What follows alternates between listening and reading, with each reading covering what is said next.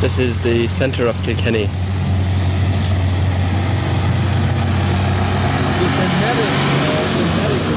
That is St Mary's Cathedral in, in the background, uh, and and that is the uh, Kilkenny Design Workshops where I am focused at the moment.